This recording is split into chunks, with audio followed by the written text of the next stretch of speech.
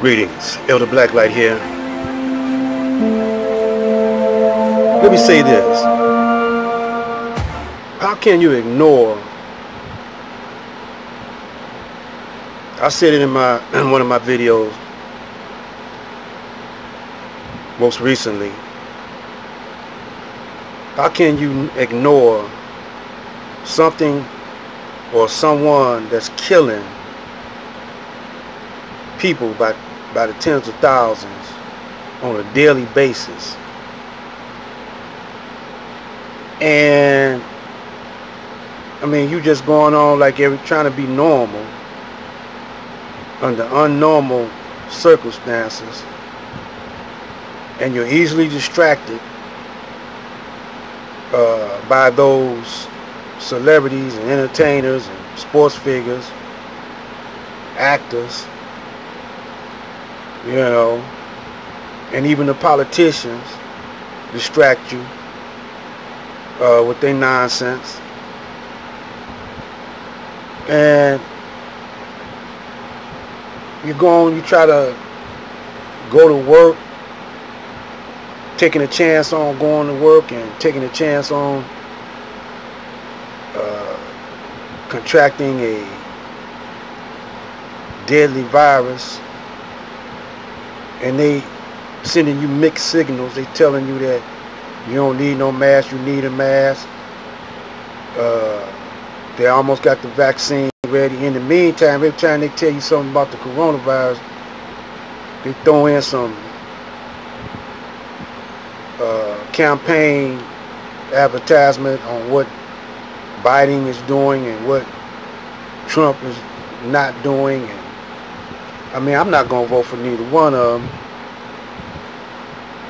And the country is falling apart. And, and in, in, in between all of this, they lynching black people they uh, rioting uh, using provocateurs to destabilize cities and you're like trapped you can't leave the country now. Don't nobody want your disease self over there. They don't know if you if you got it or not you know. And uh, some people tell you the, the vaccine is going to save you, but they want you to get tested, and they ain't even got a vaccine yet. And if you go there, they might say you got the coronavirus. How they gonna put you in the hospital? Ain't no ain't no hospital space. They running out of supplies. They running out of equipment. You know. But yet still they making money off of all this, the drug companies and pharmaceutical companies and the doctors and they're getting grants and you don't know if this a planned circumstances part of King Alfred uh, King Alfred plan of Rex 82 I mean what is it Rex 84 or something like that. I'm sounding like Biden and and Trump at times. I, I got so many things I want to say and hurry up and get it out there for my time, please. Plus, I want to play the Honorable Elijah Muhammad talking about why he preached separation, why we should crush the authority of the devils. but I wanted to throw my little two cent in there because I want to I'm kind of like disappointed in the fruit because all this time passed and they haven't regained any uh, of the, the Honorable Elijah Muhammad's uh, established establishment that he had that they were establishment but anyway, I'm to play a little bit of the Honorable Elijah Muhammad. You are talking foolish and people should take to the insane asylum. you don't have as much right as the white men have in America until you go and crush his authority. You can crush his authority, then you have as much right as he.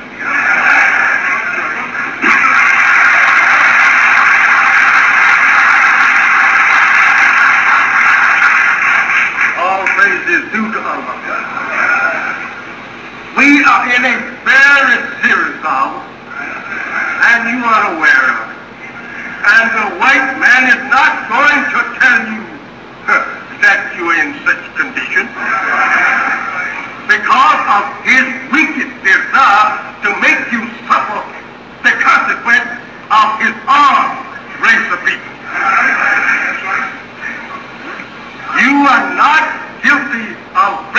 peace and bringing about dissatisfaction between the nations. You are not guilty before God of the crimes of the white man. You had nothing to do with it. You did not lynch your people. You didn't burn them at stake. You did not deprive them of justice. It is the white man. Why don't you get out of the way and let the just God execute justice on the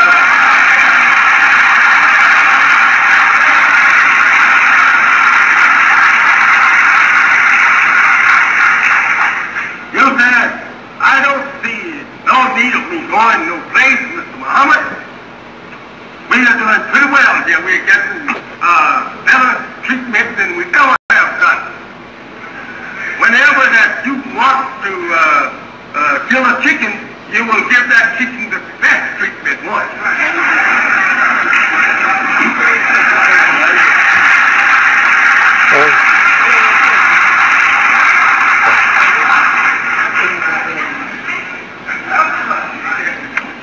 We want to bring you to an acknowledgement of facts as they exist. I have preached to you here in uh, Chicago for 30 long years.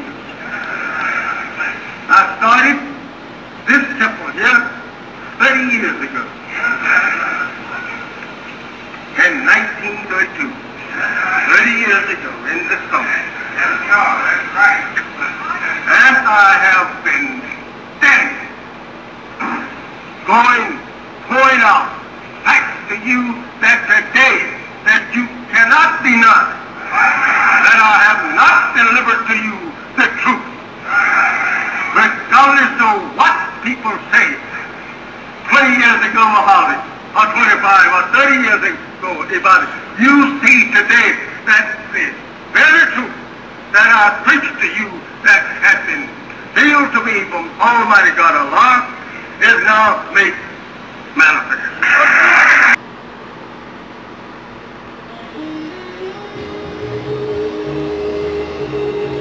Everything he said is coming true.